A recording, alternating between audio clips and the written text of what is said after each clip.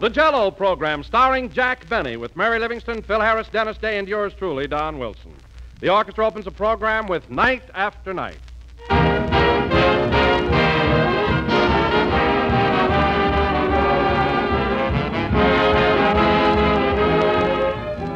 Everything from soup to jello. And that, ladies and gentlemen, is the best way I know to describe a really complete meal.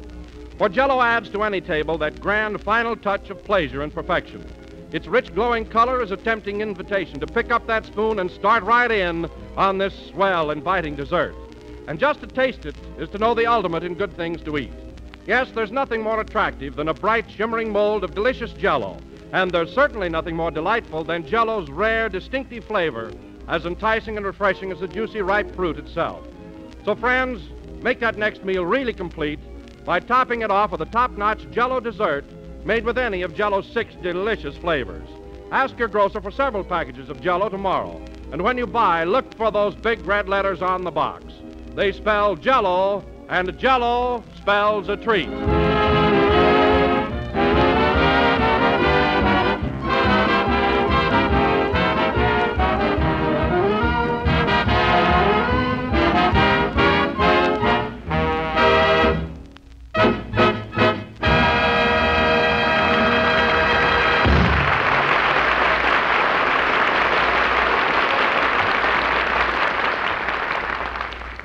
Was Night After Night, played by the orchestra. And now, ladies and gentlemen, we bring you our master of ceremonies. A man Hold who... it, Don, Don, hold it, hold it. Jack isn't here yet. Well, where is he? Well, he's out in the hall talking to Orson Welles on the telephone. You mean Orson Welles, the famous actor? Yeah. What's he talking to him about? Well, it's a long story. Jack is still burned up because he didn't win the Academy Award this year. So from now on, he's going in for heavy dramatic stuff. And right now, he's out there trying to get Orson Welles to coach him. Ain't that a Lulu? But gee, Mr. Benny's a comedian. What does he want dramatic lessons for? Well, that's what I say. He ought to stick to them big shoes and baggy pants. but I guess I better go out in the hall and get him. Yeah, tell him to make it snappy. We're on the air. Okay. Uh, yes, I understand, Orson. Yes. yes. Quite. Oh, but definitely. Uh, very well, Orson. I shall be expecting you within the hour. Hey, Jackson, we're waiting for you. I'll be there in a moment, Phil, old boy. Uh, by the way, Orson, shall I send my car for you, or will you take a cab? I mean, cab. oh, very well. I shall be looking forward to your visit. Thanks very much. Uh, goodbye. Well, that's that. Say, uh, kind of putting on the dog there, wasn't you? Phil, don't say wasn't you. It hurts my ear. Well, get a load of him. He talks to Orson Welles for two minutes, and my English ain't good enough for him. And don't say ain't. Heavens. Oh, stop with that highbrow stuff. What are you trying to do? Make me feel subconscious?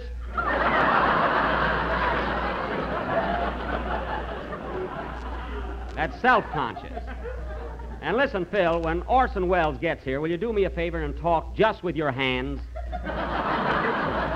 I'll tell him you've got laryngitis. Come on, let's go inside. Yes, let's join the others. Hip, hip. Gee, you're funny. You know, Phil, it's amazing that you haven't got your own program. Well, I may have one of these days. I often dream about my own show. Oh, you do? Well, maybe I can arrange for the Sandman to tear up your option and sprinkle it on you. Come on, subconscious. Oh, hello, Dennis. Hello, Mr. Benny. Oh, hello, Don. I'm sorry I'm late. Oh, that's all right, Jack. Uh, shall I go ahead now with your introduction? Oh, don't bother. Let it go tonight. Well, no build up for the star, huh? It isn't necessary, Phil. I think I'm fairly well known, don't you? You're Don Tootin. Everybody knows you, Mr. Benny. Why, your name is famous from coast to coast. Well, thanks, Dennis. That kid'll work next year.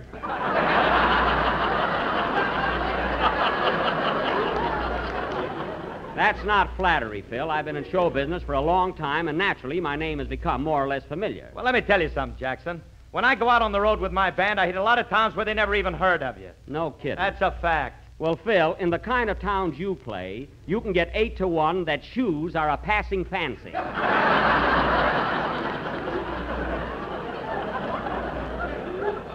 you never played a town yet where you didn't have to get off a train and get on a bus, get off the bus and get on a horse, get off the horse and crawl through the brush. You're not an entertainer, you're an explorer.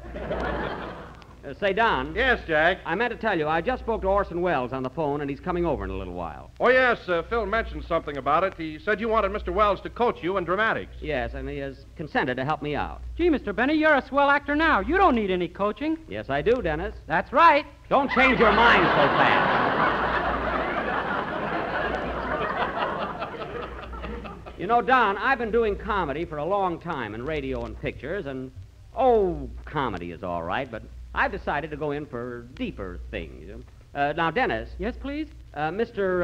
Uh, Welles will be here pretty soon, so I think you ought to get your song over with. Have you got something ready? Yes, Mr. Benny. This being St. Patrick's Day, I'm going to sing a real old Irish folk song called Phil the Fluter. Well, that's very apropos. Go ahead, Dennis. Okay. Say, uh, Jack, I forgot to ask you, how's Mary getting along? Mary? Oh, she's much better, Don, but she'll have to stay in bed a couple more days. Well, I'm very glad she's improving. Hey, what's the matter with Mary? Oh, she had a bad. Uh, Dennis, you can close your mouth. We're going to talk for a while. Okay.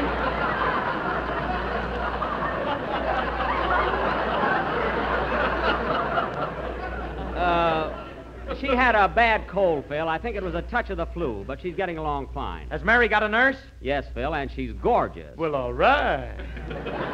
And her husband, who is six feet four and could break you right in two, isn't bad looking either.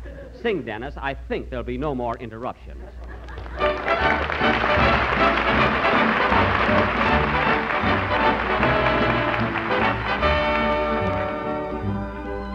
Have you heard of Phil the Fluter of the town of Ballymuck? The times were going hard with him, in fact the man was broke. So he just sent out a notice to his neighbors, one and all, as how he'd like their company that evening at a ball. And when right now he was careful to suggest to them, if they found a hat of his convenient to the door, the more they put in, whenever he requested them, the better would the music be for dancing on the floor. With the toot of the flute and the twiddle of the fiddle, oh, hopping in the middle like a heron on the griddle, oh, up, down, hands around, crossing to the wall. Oh, hadn't we the gaiety of Phil the Fluter's ball? Mulligan got up to show them how, and then the widow Cafferty stepped out and makes her bow. I could dance you off your legs, says she, as sure as you were born, if you'll only make the piper play. The hair was in the corn, so Phil plays up to the best of his ability. The lady and the gentleman begin to do their share.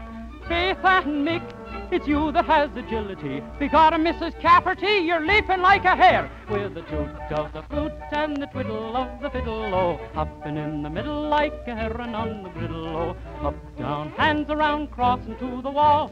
Oh, hadn't we the gaiety at Phil the Fluter's ball? Then Phil the Fluter tipped to winks a little crooked pat. I think it's nearly time, says he, for passing round the hat. So Paddy passed the hat around and looking mighty cute. Says you've got to pay the piper when he tutors on the flute. Then all joined in with the greatest joviality, covering the buckle and the shuffle and the cut. Jig Swaffer danced of the very finest quality, but the widow beat the company at handling the foot with the toot of the flute and the twiddle of the fiddle, oh, hopping in the middle like a heron on the griddle, oh, up, down, hands around, crossing to the wall. Oh, hadn't we the gaiety at Phil the Fluter's ball?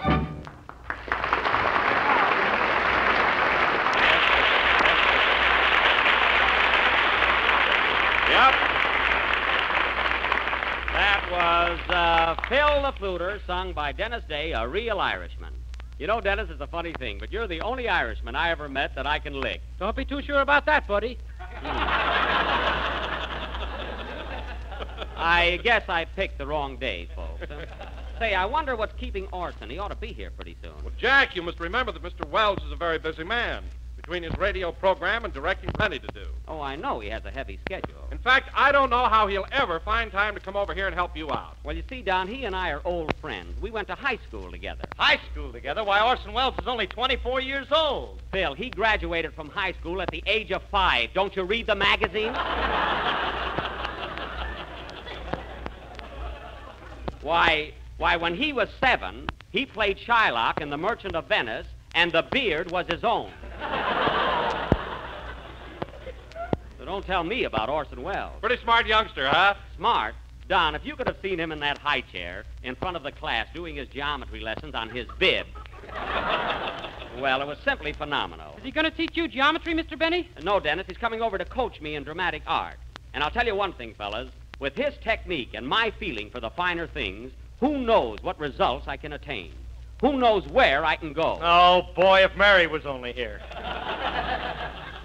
Never mind, Phil. I'm quite serious. Anyway, when Orson gets. Oh, gosh, that must be him. Come in? Pardon me, has Mr. Welles arrived yet? No, not yet. I'm his secretary, Miss Wentworth. If you don't mind, I'll wait for him. Oh, no, no, no. Come right in. Thank you. Oh, Mr. Harris, will you please show Miss Wentworth to a chair? Sure, park the chassis here, babe. Phil, uh, make yourself uh, comfortable, Miss Wentworth. Now, as I was saying, fellas, when Mr. Welles gets here, I don't want any heckling. Just behave yourselves while we're rehearsing. Well, what do you intend doing tonight, Jack? Uh, goodbye, Mr. Chips? Oh, no, Don. We're going to work up to that gradually. First, he's going to teach me dramatic delivery and enunciation and how to breathe. Isn't that right, Miss Wentworth? I can hear you breathing way over here. I mean correctly. You know, fellas, there's a way of breathing when you read lines that. Pardon me. Hello? Mr. Welles? Oh, he hasn't arrived yet, but I- I'll have him call you. Goodbye. Well, Who was that, Mr. Benny? it was. Oh, darn it, I was so excited I forgot to ask. Well, you're a fine secretary. You're the secretary, not me. Then why did you answer the phone? Because it's my phone, that's why. I forgot to ask the man's name, so what? Mr. Welles won't like it. Look, miss, don't worry about that. The party will probably call back again. And when they do, I'll be. Come in? Excuse me, is this Studio B? Yes, sir. I was to meet Mr. Welles here. I'm Mr. Stone, his secretary. His secretary? Then who's Miss Wentworth? She's his private secretary. I am right out in the open.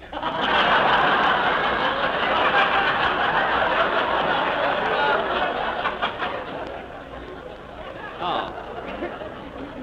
Well, uh, uh, come right in. Mr. Welles should be here any moment. Thank you. How do you do, Miss Wentworth? Good evening, Mr. Stone. Hmm. Gee, that Orson's a pretty busy guy, ain't he? Phil, I warned you about saying ain't. Oh, that's right. He's a pretty busy guy. Am he not?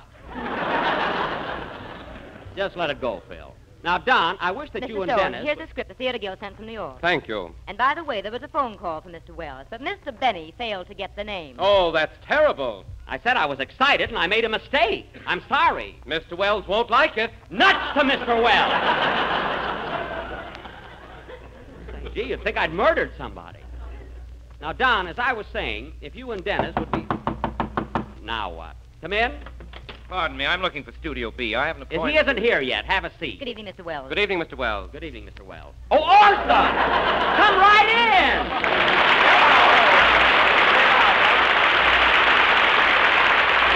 For heaven's sake, Gosh, I didn't know there for a minute. I, well, I'm glad you were able to make it, Orson. I was wondering if you were going Mr. to... Stone, did Gabriel send in those sketches, the costumes for picture? We'll be needing them soon, you know. Yes, Mr. Welles. And I received that script from the theater guild. Good, good. Let me see it. Here you are, sir. Hmm, it looks like a very interesting play.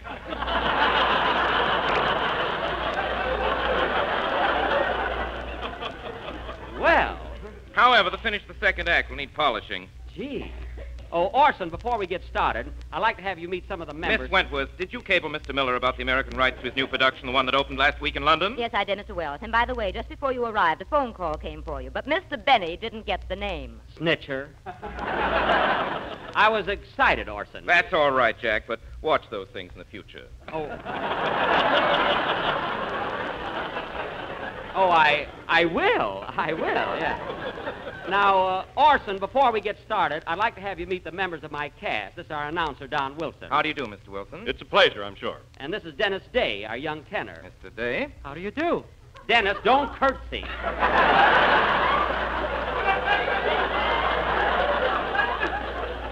You know, he's, he's, he's, uh, you know, he's so polite.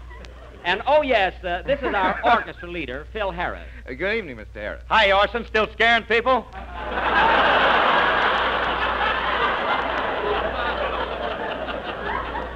Phil, uh, don't uh, don't pay any attention to him, Orson. He's always like that. Oh, I don't mind. He's rather amusing in his own crude way. Crude. That's very good. Uh, by the way, Jack, where's Miss Livingstone? Oh, Mary's home in bed, Orson. She has a rather heavy cold. Oh, that's too bad. Has she got a nurse? I checked on that, Bob. No soap.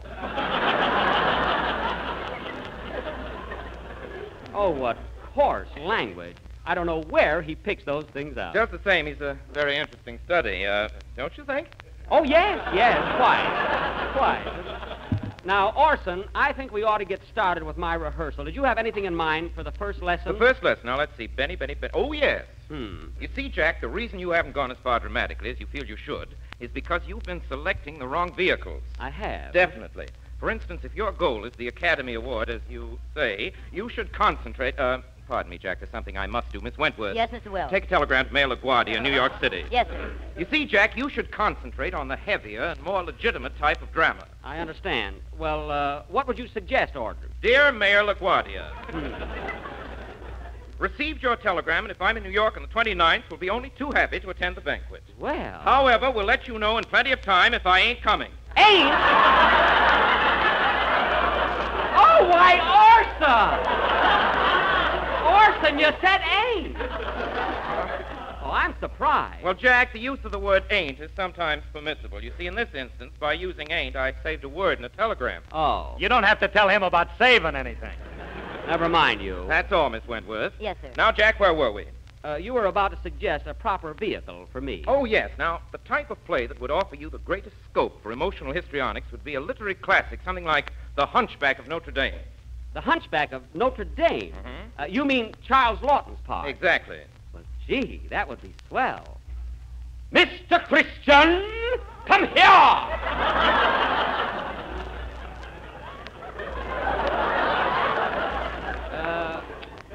how's that?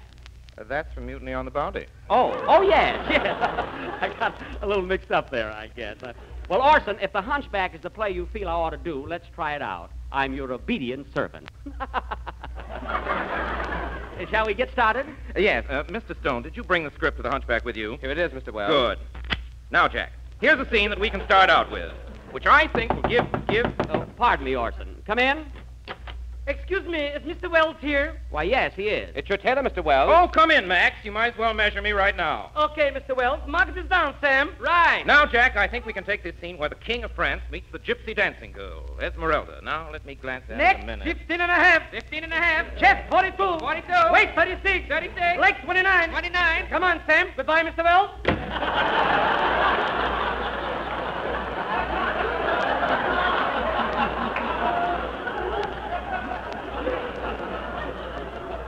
Gee. Yes, I think this scene will be fine, Jack. Well, I'll do my best, Orson. Now, do you think oh, Miss I'll... Wentworth, Yes, Mr. Welles. take a memo to the tailor. No belt in the back.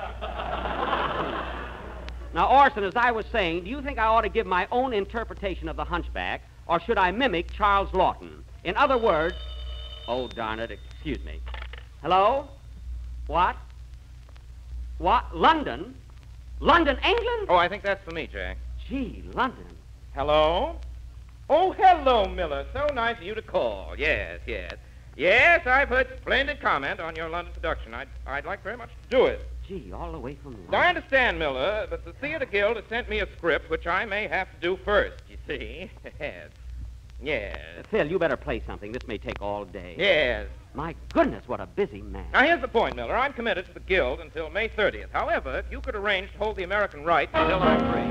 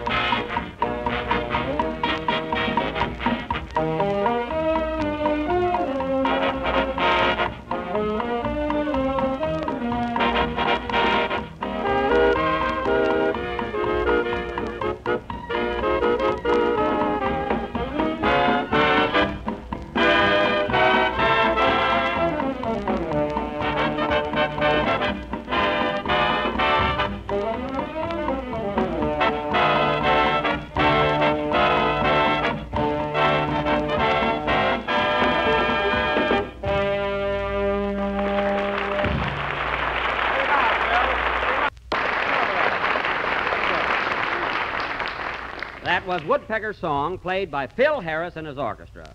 And Phil, I'm very glad to see that you're not a hypocrite. What do you mean, hypocrite? I mean, your music was the same as always. You didn't play good just because we have a distinguished visitor.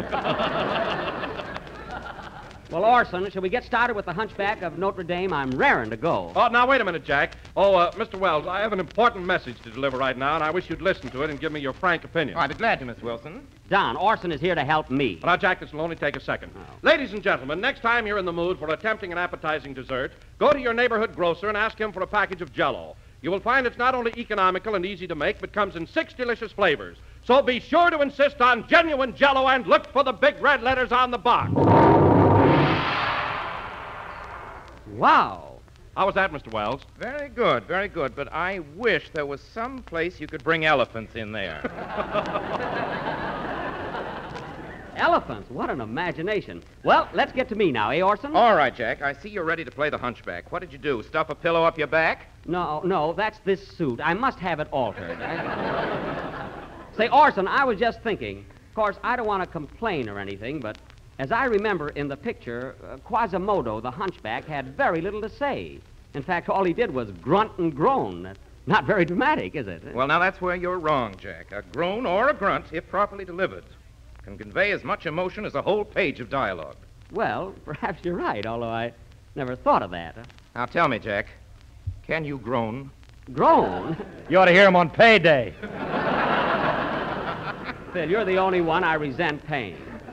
Well, now that you've explained it, Orson, I think I can handle it all right. Very good. Then let's get started. Now, this particular scene calls for the King of France. I'll play that. Frollo, the King's High Justice. I'll play that, too. Hmm. Quasimodo, the Hunchback. That must be me. Yes. And Esmeralda, the Gypsy Girl, Miss Wentworth. Would you care to help us out, please? Delighted, Mr. Welles. Now, Orson, I noticed in the script here that Quasimodo rings the bells in the Tower of Notre Dame. Do you want me to ring them? No, I'll handle the bell. Oh, oh, oh, oh, I- oh. Oh and oh. incidentally, uh, Ja- Jack, at the uh, finish of this particular scene, you have a very dramatic speech where you tell Esmeralda not to be afraid of you. It's really the high spot of the play. Oh, well, I'll sure try and get it right, Orson. All right, then let's proceed. We open first with Esmeralda and Frollo. Now, quiet, everybody. Quiet, everybody. Mr. Welles is about to rehearse. You have the first line, Miss Wentworth. Yes, sir. Let me go. Don't touch me. You have the hands of the devil. Great. For such talk, I could have you burned at the stake. I am the law. Yes, the law that drives my people out of France. You deserve it. You are thieves and swindlers. You are lazy and you live by magic tricks and sorcery. But you don't know the gypsies. I don't want to know them. I want to wipe them out with fire and sword. Every one of them.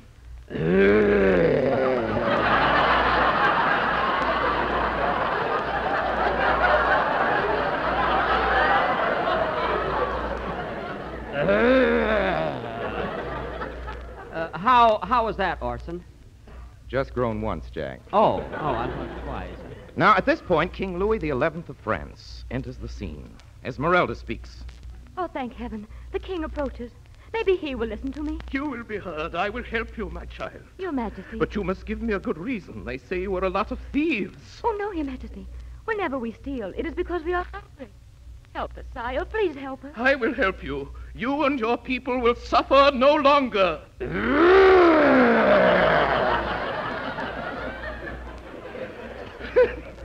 go, go back to your, go back to your people, my child, and tell them that their king will see that they have food and shelter, and that in the future they shall be unmolested.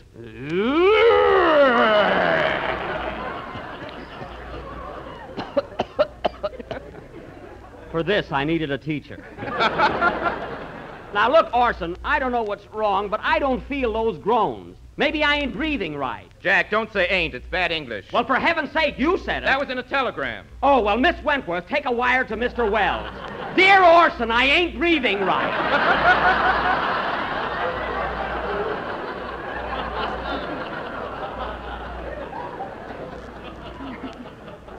and another thing, Orson, when do I get to that long speech of mine? It's right here at the top of the next page. Esmeralda speaks again. Continue, Miss Wentworth. Oh, thank you, Your Majesty. My people will always be grateful. Rest easy, my child, and now goodbye. Goodbye, sire.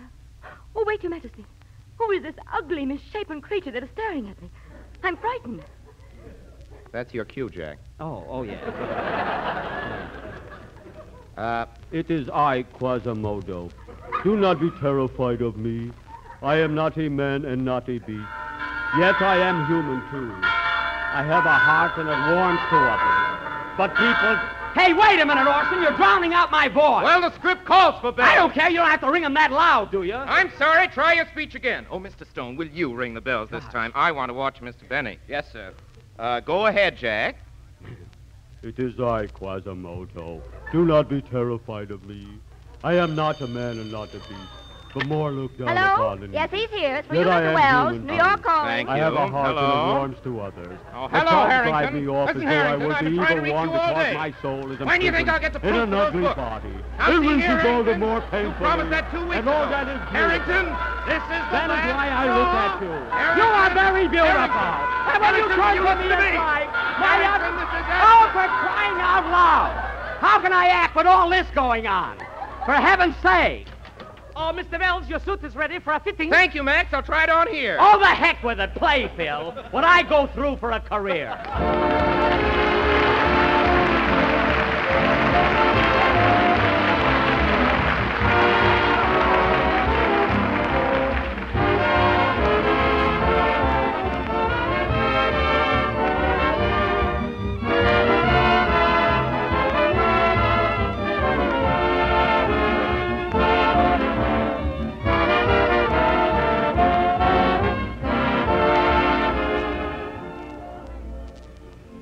Folks, if you're looking for a swell dessert to serve for Easter dinner next Sunday, look no farther.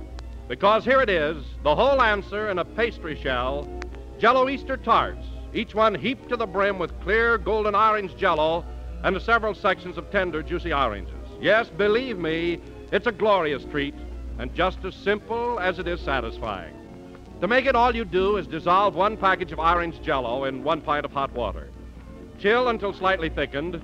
Divide three medium oranges into sections, drain them, and arrange in eight baked tart shells. Fill the shells with jello, chill, and then, if desired, garnish with whipped cream before serving.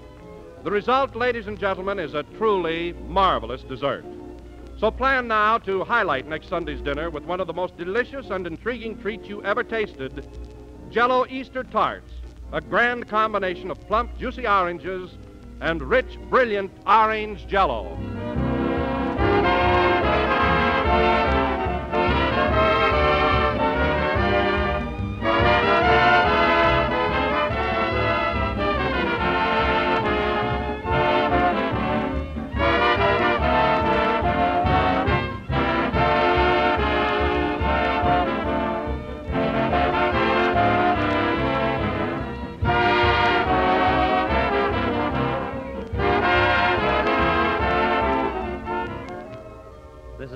Number of the 24th program in the current Jello series, and we'll be with you again next Sunday night at the same time. Say, Orson, I'm sorry I blew up the way I did, but I would like to become a dramatic actor. Well, Jack, those things take time, but I'll tell you what. Come over to my show next Sunday. We're going to do June Mo- Moon, and there's a swell part in it for you. Well, gee, I'll be glad to. Will I have to groan much? In Uh, no, no, Jack. There isn't a single groan in the entire play. Oh, gosh, and just when I had it down pat. Good night, folks.